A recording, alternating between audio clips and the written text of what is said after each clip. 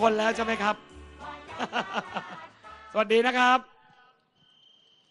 ฟังนกหวีดแล้วเหลืออยู่สามหมื่นสองคืนนี้ นอนอยู่ห้าพันสิริรวมสี่หมื่นกว่า เพราะวันนี้ไปกระทรวงกลาโหมมาเนี่ย กลับมาสลบกันครึ่งกระบวนเลย แดดร้อนมากเลย วันนี้นี่ไม่ใช่แค่ทาครีมกันแดดธรรมดานะครับ ต้องโบกปูนเลยวันนี้แดดร้อนมาก ผู้ใหญ่เล่นผ้าสามผืนเลยวันนี้ แล้วผมก็บอกกำนันว่ากำนันไอ้ที่เข้ากระทรวงอย่าไปด้วย กำนันบอกไม่ได้ กำนันเข้าไปแล้วผู้ใหญ่อยู่บนรถกันแล้วกัน แบบรักเรามากเลยอะ่ะกำนันอยู่ในกระทรวงล่มสบายดีเราอยู่บนรถ แต่วันนี้นี่ต้องนับถือเลยนะครับว่าพี่น้องที่ไป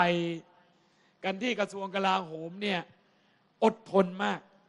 แล้วก็แน่วแน่มาก หน้ากระทรวงกลาโหมมีต้นไม้อยู่ต้นหนึ่ง ใบนับได้เลย แล้วล่มที่มีอยู่นิดหนึ่งเนี่ย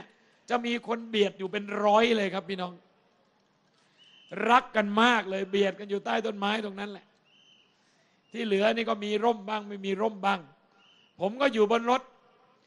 พูดไปปลาใสไป เฮ้ยทำไมคนมันน้อยจังวะ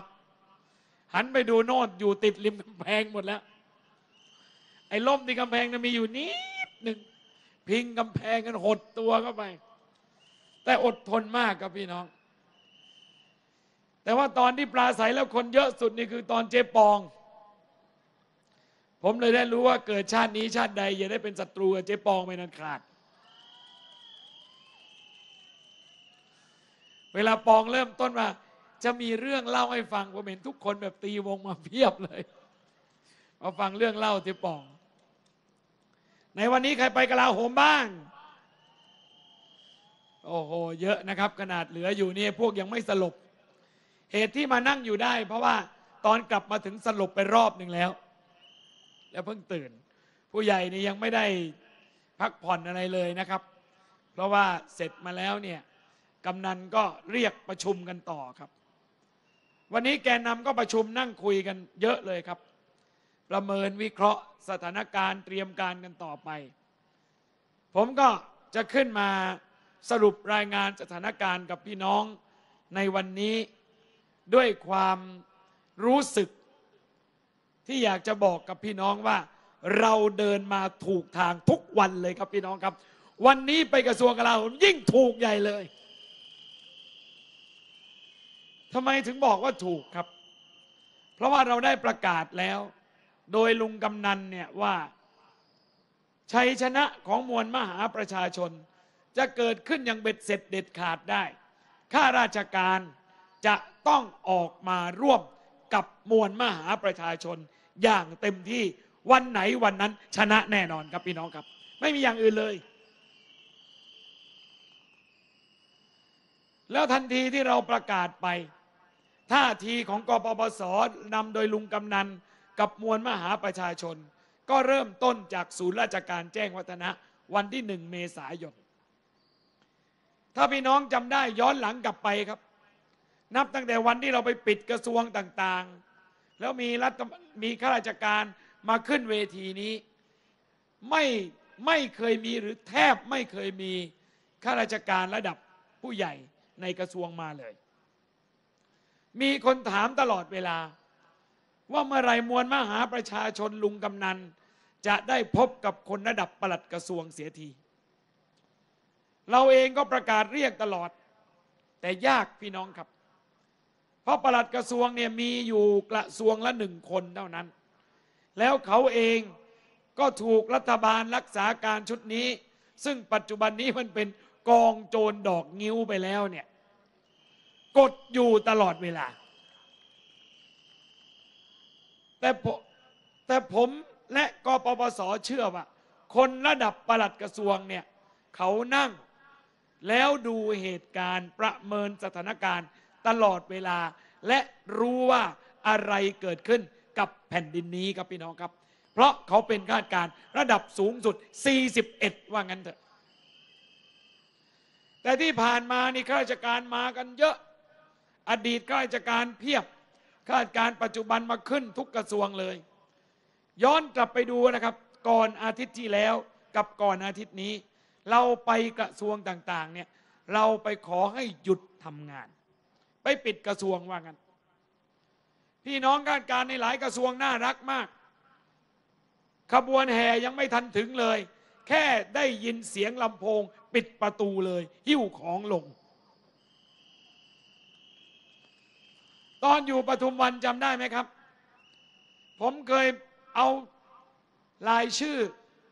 ข้าราชการที่เขียนแต่ละหน่วยงานเนี่ยมาเล่าให้ฟัง ว่าใครอยากให้ไปปิดตรงไหนบ้าง บางหน่วยราชการเราไปปิดไม่ทันเพราะเยอะก็น้อยใจว่ามวลมหาประชาชนไม่ปิดส่วนราชการให้ พอเราปิดส่วนราชการไปพักหนึ่ง เราก็เห็นว่าการชัดดาวกรุงเทพ ประสบความสำเร็จเรียบร้อย การปิดส่วนราชการก็ถึงจุดหนึ่งแล้ว เพราะพวกรัฐมนตรีทั้งหลายในกองโจรดอกนิ้วเนี่ยมันก็ใช้วิธีบีบบังคับข้าราชการคนเล็กคนน้อย บอกไม่ต้องทำงานที่นี่ โน่นไปทำงานลำลูกกาโน่นไปลังสิตบางที่ไปไกลถึงนครนายกนะครับพี่น้อง ลุงกำนันก็บอกว่า ถ้าประเมินจากยุทธศาสตร์ เห็นได้ชัดว่าข้าราชการเนี่ยเอ็นเอียงมาทางมวลมหาประชาชน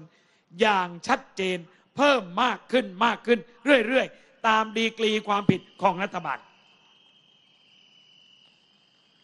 พอประธานวุฒิโดนชี้มูล พอประธานสภาผู้แทนราษฎร โดนชี้มูลไปปับ๊บ เรื่องของยิ่งลักษณ์โดนเข้าปปชปับ๊บพอการเลือกตั้งถูกวินิจฉัยเป็นโมฆะปุ๊บ พอคดีคุณทวินคุณทวินชนะปับ๊บคุณไปบูลไปยื่นสารรัฐนูญปับ๊บใครใครก็ดูออกว่า รัฐบาลกองโจรดอกนิ้ว มันหมดความชอบทำไปแล้วข้าราชการเขาเห็นครับพี่น้องกำนันถึงกล้าประกาศว่าเริ่มต้นยกสุดท้ายแล้ว เพราะฉะนั้นขั้นตอนที่เราต้องทำต่อไป ก็คือการเดินไปหาข้าราชการ แล้วชวนเขามาร่วมกับเรา ปฏิรูปประเทศไทย พอไปที่ศูนย์ราชการเสร็จ รุ่งเช้าไปกระทรวงการคลัง ก็มีข้าราชการมารับอย่างที่เล่าให้ฟังเมื่อคืน ว่าเกิดตำนานรักข้ามรั้ว ไปกระทรวงต่างประเทศ ไปธนาคารแห่งประเทศไทย เจอระดับผู้ช่วยผู้ว่าการ ไปกระทรวงศึกษา เจอรองปลัดกระทรวง มาวันอังคารที่แล้วพี่น้องครับ เราตัดสินใจไปกระทรวงยุติธรรม คราวนี้เบอร์หนึ่งกระทรวงยุติธรรมมาเลยครับปลัดกระทรวงยุติธรรม และที่ผมบอกว่าที่เราเดินอย่างนี้ถูกแล้ว เพราะว่าพอปลัดกระทรวงยุติธรรม ซึ่งเป็นข้าราชการในพระบาทสมเด็จพระเจ้าอยู่หัว เป็นข้าของแผ่นดินทำไมเขาจะมาเจอประมวลมหาประชาชนไม่ได้ เขาก็ออกมาพบมาเจอมาคุย ปรากฏว่ากองโจรดอกนิ้วยิ่งลักออกอาการครับพี่น้อง ควันออกหูเลยสออรสประชุมกันเลย วันนี้สออรสซึ่งย่อมาจาก ศูนย์อนุรักษ์พันธุ์สัตว์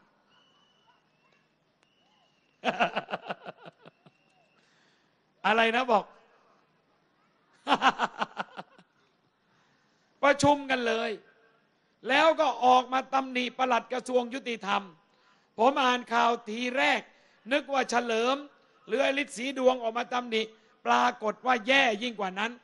เอาเจ้าหน้าที่คนหนึ่ง ชื่อนางสาวอะไรก็ไม่รู้เป็นเด็ก ออกมาตำหนิประหลัดกระทรวงยุติธรรม ไอ้นี่แหละครับ ที่เรียกว่า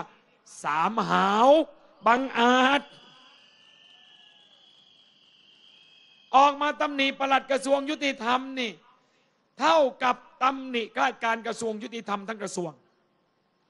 เท่ากับออกมาตำหนิมวลมหาประชาชน ที่สนับสนุนการทำงานของกระทรวงยุติธรรมด้วย แล้วหนึ่งในกรรมการสรสคือไอฤทธิ์ศรีดวงเนี่ยเป็นอธิบดีเป็นลูกน้องประหลัดกระทรวงยุติธรรมครับพี่น้อง ดูมันเหิมเกริมขนาดไหน แต่วิธีการเอาเด็กมาตำหนิพวกนี้เนี่ยนี่คือวิธีการระบอบทักษิณไอ้หมวดเจี๊ยบนี่ก็โตมาแบบนี้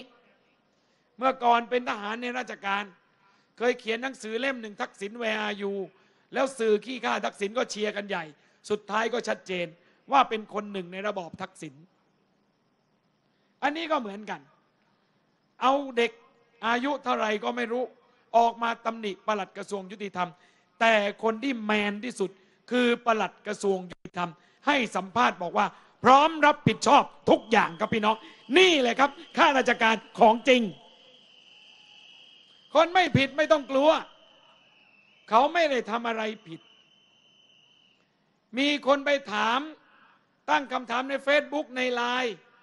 บอกว่าประหลัดกระทรวงยุติธรรมนะทำผิด เพราะไปเจอกับผู้ต้องหา คือสุเทพกำนันเป็นผู้ต้องหาคดีกบฏ ผมก็บอกว่าคำว่าผู้ต้องหาเนี่ยกฎหมายให้สันนิษฐานไว้ก่อนว่า เป็นผู้บริสุทธิ์ เพราะยังไม่ได้ถูกตัดสินโดยศาลว่าเขามีความผิด แล้วคดีกบฏนั้น โดนใครเป็นคนยัดเยียดก็ไอ้เหลิม รัฐบาลยิ่งลักษณ์กองโจรนางดอกงิ้ว ไปยัดเยียดก็หากบฏให้เขา และยังไม่ขึ้นศาลเลย มันจะผิดตรงไหน เอาแล้วถ้าพูดจริง ๆ นางยิ่งลักเป็นนายก ไอ้คำลนวิทย์ทูบกระจ่างเป็นผู้ผู้บัญชาการตำรวจนครบาล ไอ้เหลิมและรัฐมนตรีอีกหลายคน ไปพบทักษิณไอ้นั่นมันนักโทษหนีคดี และทำไมมึงไม่พบได้ ไอ้นั่นมันนักโทษศาลตัดสินแล้วต้องจำคุกสองปี แล้วมันหนีคดี ยังมีหมายตามจับตัวให้มาติดคุกอยู่ พวกคุณไปพบได้ แล้วทำไมปลัดกระทรวงยุติธรรม จะพบกับผู้ต้องหา ซึ่งถูกยัดเยียดคดีด้วยความไม่เป็นธรรมจากนักการเมืองชั่วไม่ได้ล่ะครับพี่น้องไม่มีอะไรผิดเลย วันนี้เลยออกอาการกันใหญ่ พอออกอาการแล้วเกิดอะไรขึ้นครับพี่น้อง ในเวลาที่ไอ้สอรอสแถลงข่าว บอกว่าออกมาตำหนิ ปลัดกระทรวงยุติธรรม เพราะว่าไปพบกับผู้ต้องหาในคดีกบฏเนี้ยลุงกำนันสุเทพ ผู้ต้องหาคดีกบฏ พบปลัดกระทรวงกลาโหมมันเถลย